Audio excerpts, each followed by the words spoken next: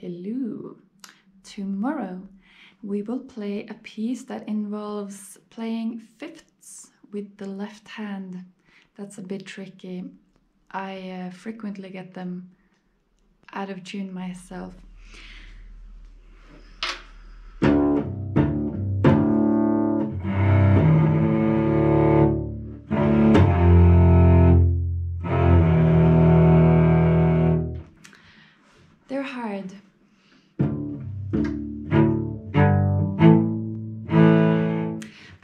Useful to be a little acquainted with because they keep popping up, and especially as a cellist, when having a bass role and accompaniment role, playing fifths can be useful to know how to do.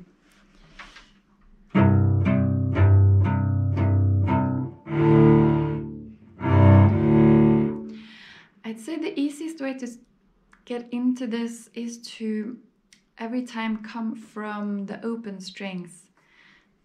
Don't adjust too much all the time because then you just get used to adjusting yourself. But if you go from the open strings and you instead get used to how it feels to press them down and hit them on the first try, that's a lot more useful in the long run.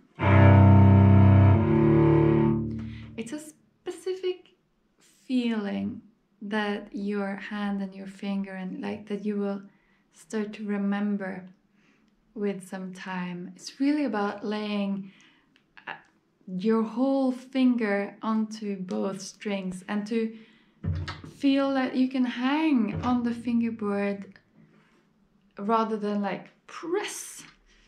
Ah! That's not as helpful as to feel the weight pressing down the strings for you.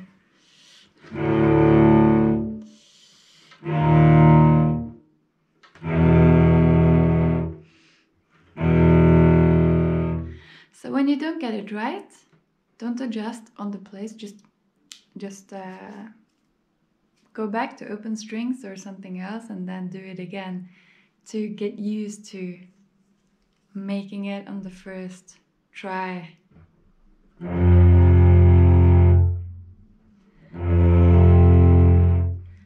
Quite meditative. Try that today.